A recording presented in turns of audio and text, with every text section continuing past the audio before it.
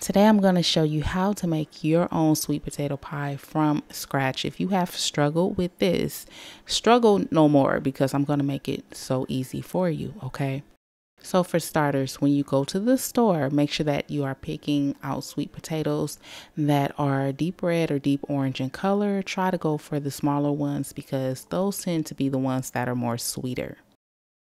So after you clean your potatoes, make sure that you prick them a few times with a knife or with a fork. I did this about nine times for each one. That will help the uh, steam to release and it also ensures that the potatoes bake evenly. And baking them will cause them to caramelize, which will also make them sweeter.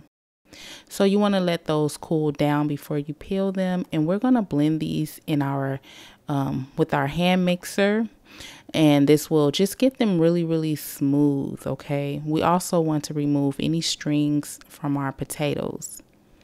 And uh, if you have a lot of strings in your potatoes you will see them on your blender attachment so make sure you take those off and toss it in the trash.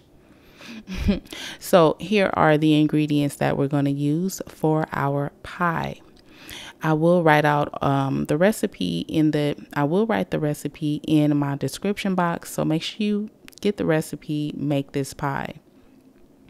So now all we need to do is just add the sugars, the spices, and uh, our our half and half our half, half and half down into the bowl and just mix everything up. This is pretty simple from here.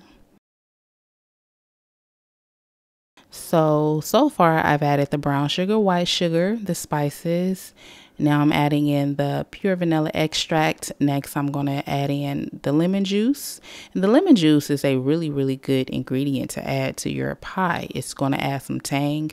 It's also going to balance out all of those flavors. So make sure you do not do not not add lemon juice. So we're going to add the butter. Make sure your butter is room temperature but melted, not hot. Also, make sure your half and half is room temperature as well. Make sure everything is room temperature. No cold ingredients for this recipe, room temperature.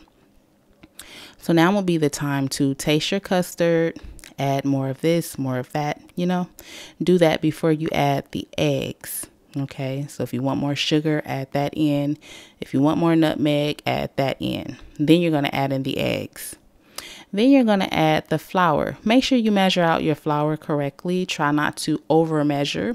Flour is that one ingredient that tends to get a little over measured if you're packing it into your measuring cup or your measuring spoon. So try not to over measure your flour.